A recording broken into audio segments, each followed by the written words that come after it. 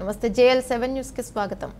బతుకమ్మ పండగ వస్తుందంటే తెలంగాణ రాష్ట్ర మహిళల సంబరాలు. దేశ విదేశాల్లో మన రాష్ట్రానికి దేశానికి చెందిన మహిళలు కూడా బతుకమ్మ సంబరాల్లో మునిగి తేలుతారు. తీరొక్క పూలతో బతుకమ్మను పేర్చి బతుకమ్మ తయారు చేసిన తర్వాత బెల్లం రొట్టెలు మాలిద ముద్దలు చేసి అలాగే పులిహోర దద్దోజనం చేసి బతుకమ్మకు నైవేద్యం పెట్టి అగరవత్తులతో మమ్మలను చల్లంగా చూడాలమ్మా సంతోషంగా చూడాలని వేడుకొని ఇంటికెదురుగా సంబరాలలో పాటలు పాడి ఉత్సాహంగా ఉల్లాసంగా చిందులేస్తూ ఆడుతుంటారు. గంట రెండు గంటలు ఆడి పాడి సమీప చెరువుల్లో భక్ కమ్మను భక్తి శ్రద్ధలతో వదిలేస్తారు. ముద్దలు ప్రసాదాలు ఒకరికొకరు తర్వాత పంచుకుంటారు. కుకట్పల్లి నియోజకవర్గంలోని ఓల్డ్ బోయినపల్లిలో గల సమతానగర్ పీవీ ఎన్క్లేవ్లో శ్రీమతి గవల శ్యామల శ్రీమతి దివ్య శ్రీమతి రేణుకా బృందం చేసిన సంబరాలను చూద్దాం. ఈ సందర్భంగా tent house Satyanarayana DJ sound system ఏర్పాటు చేశారు.